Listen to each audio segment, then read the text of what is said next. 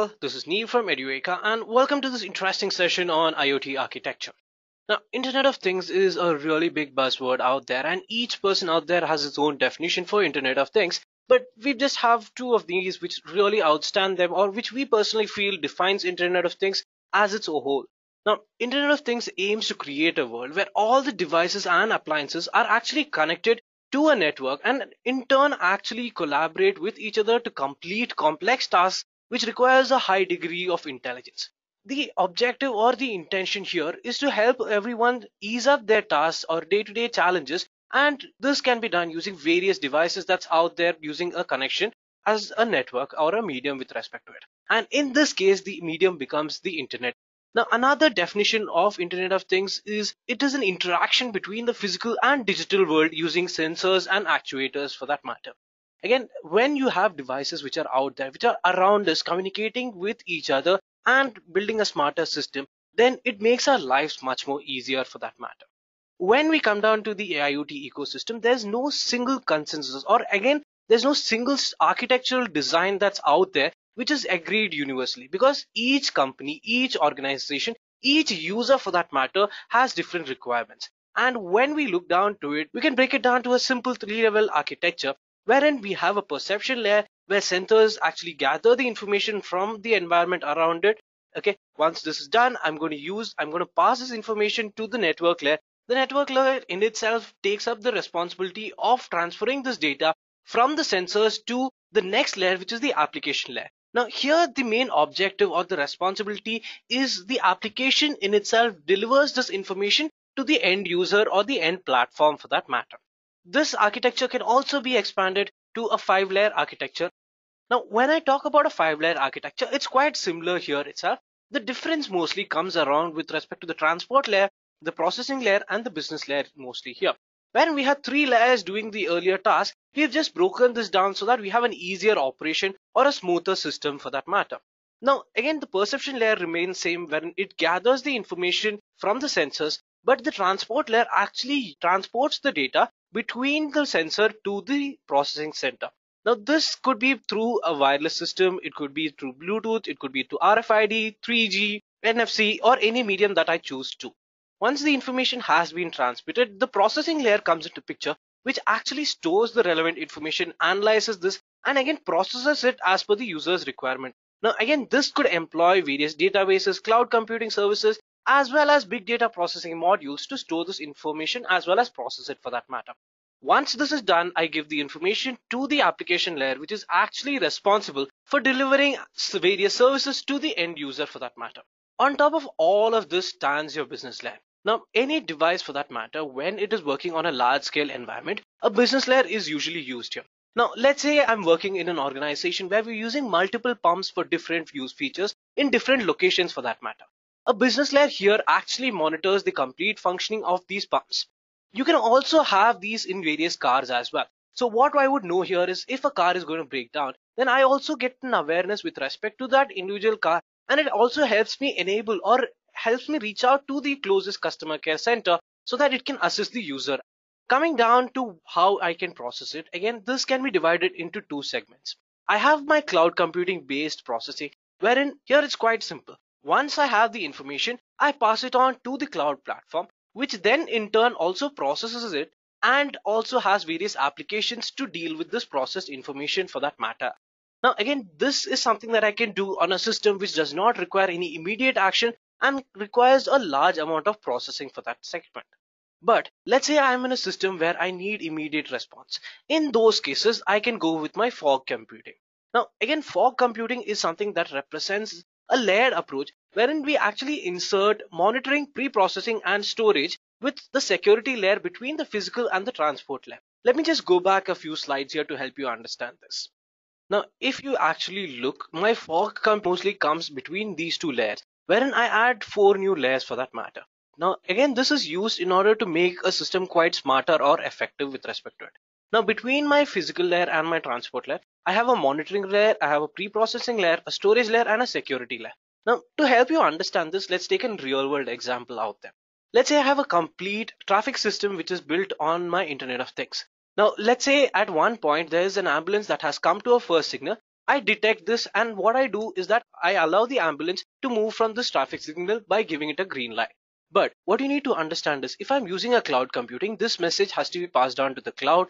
This information has to be then processed and then correspondingly a map has also to be created.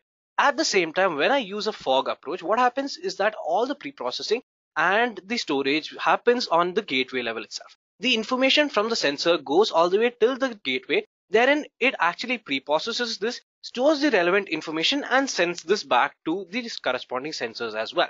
So let's say if there's an immediate track that I can create to the closest hospital, I would highlight all the traffic signals to be green so that the ambulance can move smoothly as well. Now, security here is very essential because if I implement this, tomorrow anyone can actually try to manipulate this for their requirements as well. Imagine there's a high-speed police chase happening and the culprit uses this in order to move fast from the traffic signal. So this is something that is really essential. Although there is a pro to this, there's also a con and this is how we try to overcome this issue. Now, talking about each one of these new layers, when I come to the monitoring layer, what it actually does is it monitors the power consumption. It monitors each of these resources as well as their response and the services that are running on these resources. Now this in turn helps me monitor or gives me a complete idea of which are the services or which are the sensors which are working, where are the challenges, what is the power consumption and how it works with respect to that same. Now, once I have information from these sensors, what you need to understand is that usually you work with thousands of sensors in a real world environment.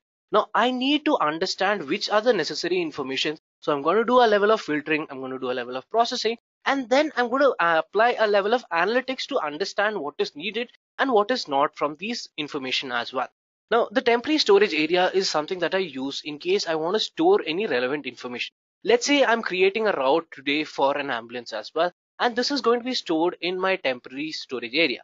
But this also needs to be used in future scenarios. So once I'm done with this usage, I can also push it on to the next transport layer, which can send it to any other storage system that is part of my environment.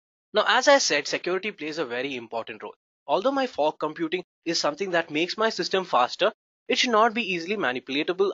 Now, in a cloud-based system, I have the assurance that it's not really easy to break down the security. It's quite hard where there are various layers of security which are part of the system.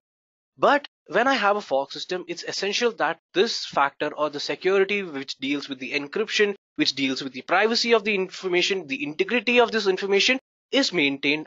Now, there's also a very interesting variation of this which is called an edge computing system, wherein rather than doing all these operations after I have gathered this on the gateway, I can do it on the individual nodes or individual sensors as well with respect to it. So where I have edges, these becomes point for me to perform operations on the data that is being collected. So that's a slight variation of our fog computing system as such. Next, let's talk about the various taxonomy associated with Internet of Things. Now, these are the key concepts or these are the key layers which are present with respect to most architectures that's out there. Now, as I said, this is a generic idea. Each person or each system that's out there requires its own level of customization, requires its own level of approach to solve that problem. But these always remain the fundamental layers which are included in all the architectures out there. First, we have the perception layer, which is usually the layer where we gather the information from the various sensors that's out there, or we use the various sensors which are required as part of our system. Then we have the processing layer wherein we perform filtration, we summarize the data, we again do a level of analytics on this data before we decide to send this relevant data to the system that's above this. Now, then I have a communication layer. Now, communication layer is very simple. As in here, we'll define the protocols and standards as well as the medium through which the information has to be passed from my sensors to my main system as well. Now, middleware is something that's quite essential here. What it does is that it creates an abstraction as well as it makes my system work much more smoother. Now, what you need to understand is that there are various components involved here. Middle layer really helps me integrate the information coming out from each of these sensors or each of these individual systems. Once it's present, then I can pass it on to my application layer, wherein I have various applications which help to improve the overall experience of the user as well as provide much more accuracy and efficiency to the information that's present.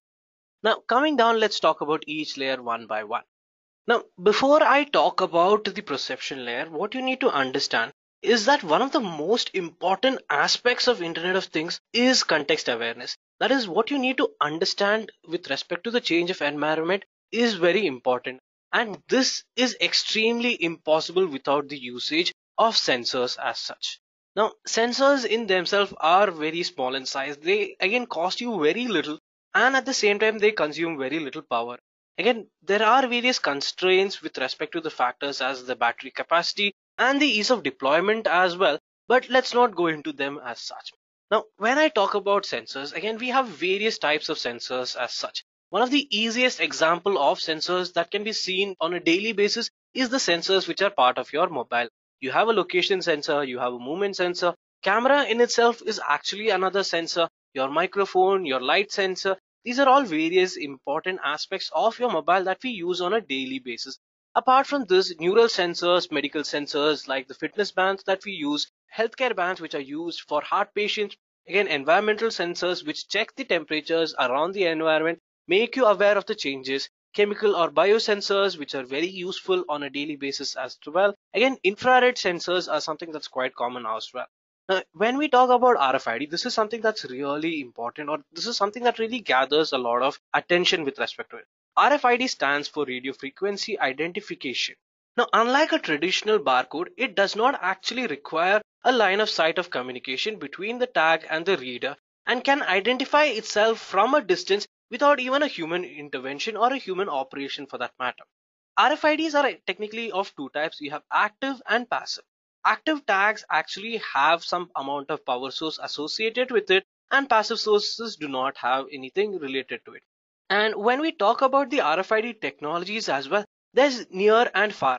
A near RFID reader uses a coil through which we actually pass AC current and generate a magnetic field. Now, when we generate a magnetic field, anything that comes in its vicinity, it registers with respect to it. Now, when I talk about a far RFID, it basically is a dipole antenna in a reader. Now, this again propagates an electromagnetic waves and tags themselves also have a dipole antenna. Now, again, these are something that's used in various applications that's out there.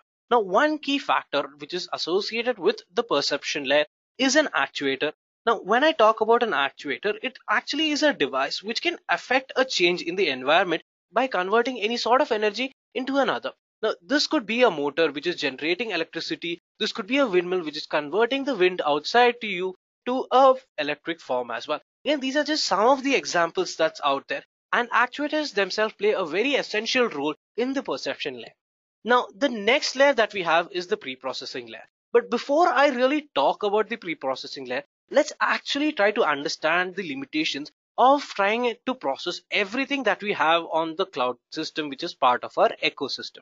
Now, when I talk about this, one of the key or one of the biggest challenges for me is mobility.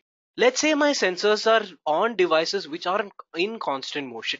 Then it becomes a really high challenge for me to pass this information continuously to my cloud environment. Again, this could be through the challenge of transport layer. This could also be due to the challenge of power consumption associated with it.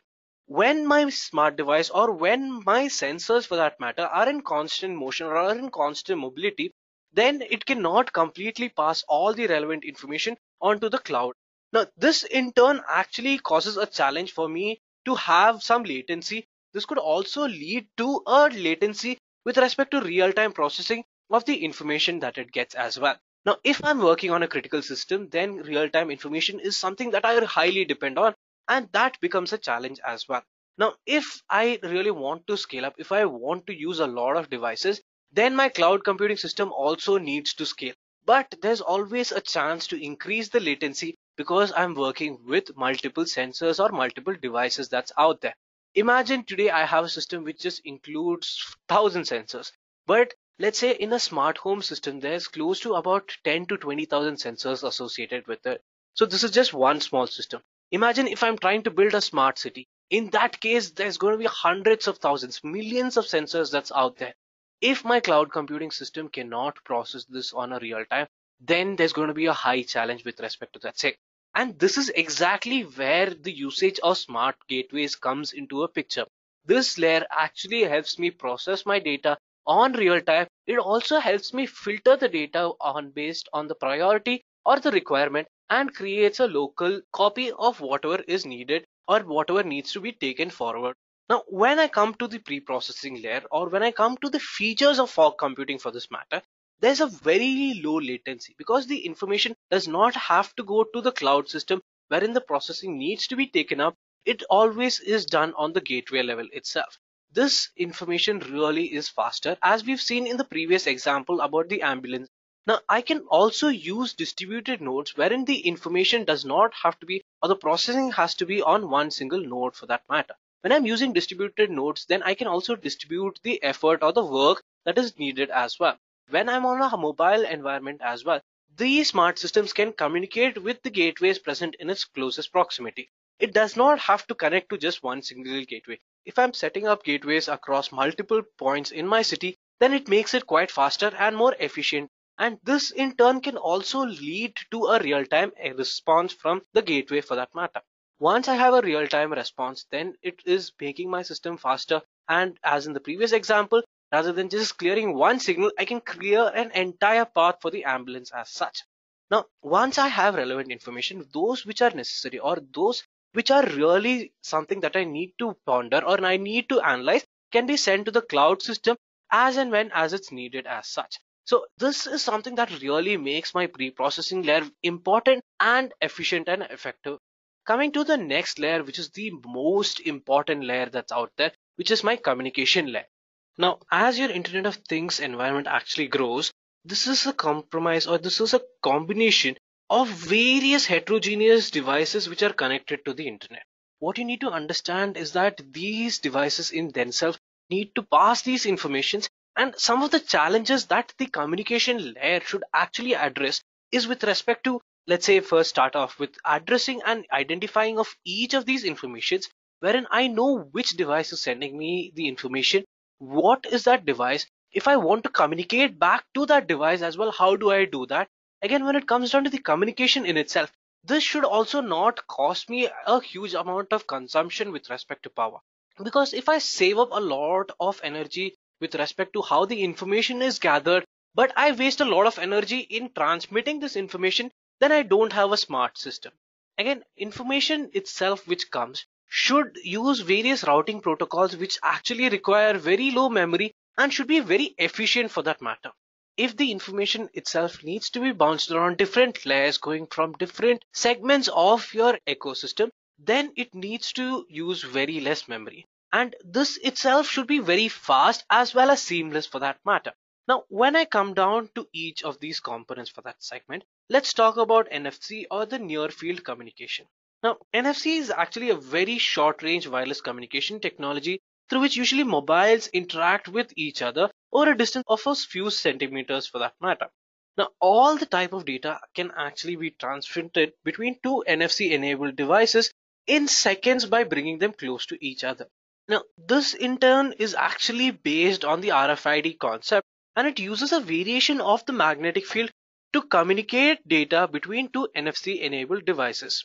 Now, if again we go down into slight specifications, NFC usually works on the frequency band of 13.56 MHz, but again, this is very similar to high frequency RFID. Now, I'm not going to bore you more with respect to the technical details. We'll talk about the next segment, which is your RFID and WSN integration for smart objects.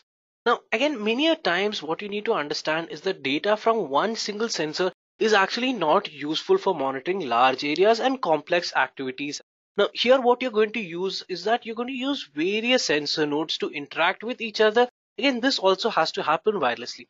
Now, the disadvantage of a non-IP technology such as RFID, NFC or Bluetooth is that its range is very small. So they cannot be used in many applications wherein large area needs to be monitored through many sensor nodes deployed in various locations for that matter.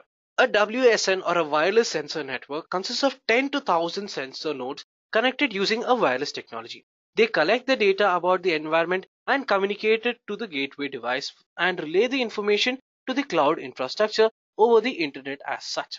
Now, when I come down to the IoT network protocol for that matter, usually what you need to understand is that the IP4 protocols themselves can only be used for communication of close to 20,000 devices. Now, again, the internet protocol used by these devices is something that's quite a challenge as well. Because when you look at it, the predicted amount of devices that's going to be available by 2020 in the Internet of Things domain is close to 40 billion. Imagine 40 billion devices communicating with each other. Now, if I don't have a smart system or if I don't have an effective low power system, then I cannot communicate or I cannot gather the information from this. Now, usually a low power IPv6 is used for these network or these communication, which helps you in passing of information from these sensors onto your processing or onto your cloud infrastructure. Now, again, when I come down to the low energy technology, my main challenge with respect to communication is always to ensure that low energy technology is most probably used. In this segment, we have your Bluetooth Low Energy, which is usually referred to as a BLE, and this was actually developed by the Bluetooth Special Interest Group. Now, what you need to understand is that it actually has a shorter range for communication and consumes lower energy as compared to its computing protocol. Now, the BLE protocol stack is actually quite similar to the stack used in classic Bluetooth technology. However, it has two parts. It has a controller and it has a host as well. Now the physical and the link layer are implemented in the controller and the controller is typically an SoC or a system on chip with a radio for communication. Now the functionality of the upper layers again are included in the host and BLE is actually not compatible with classic Bluetooth. Now the next is a low power Wi-Fi. Now again the Wi-Fi Alliance has recently developed a Wi-Fi HaLow which is based on your IEEE 802.11 AH standards now this in turn consumes very less power than compared to your standard Wi-Fi devices also has a longer range. Now this exactly is why it is most suitable for the Internet of Things applications for that segment. Now any device that supports Wi-Fi also supports IP connectivity which is very important for an IoT application for that matter. Now the last is Zigbee. Zigbee is also based on the IEEE 802.15.4 communication protocol and is used mostly in personal area networks or PAN. Now again the range for Zigbee devices to communicate is very small, usually between 10 to 100 meters and the details of the network and the application layers are also specified by Zigbee standards as such. Unlike the BLE, the network layer which is part of the Zigbee provides for multi-hopping routing. Now when I come down to more details about the Zigbee network, I have three types which is an FFD, full functional device, an RFD reduced functional device and one Zigbee coordinator as well. Now with this I just hope you have a simple understanding of how communication is essential for the Internet of Things architecture and the various ways that you can implement the communication between the devices as well. Now the next concept or the next layer with respect to the IoT architecture is the middleware segment. Now when I come down to the middleware, one of the key challenges or one of the key issues that comes into the picture is the interoperability as well as the program abstraction. Imagine I have 40,000 devices communicating with each other. 40,000 devices may not all use the same programming language or may not pass the information in the same way as well. I need to build or I need to have something that ensures that these devices communicate with each other and there is an abstraction maintained between the information passed from these as well. Now, if I have multiple devices also, what I need to ensure is that, that these devices are independently discoverable and I can manage each of them. Today, I need to be aware if one single sensor also breaks down because the information coming from the sensor is extremely important as well. When it comes down to scalability, it is extremely useful because when I need to grow my ecosystem, this middleware really comes into picture. If I can replace an existing middleware with something that can help me scale up, then I don't have to completely variate my entire ecosystem as well with respect to it. Usually when I use a highly capable middleware, then it also lets me perform big data analytics and implement security and privacy as well.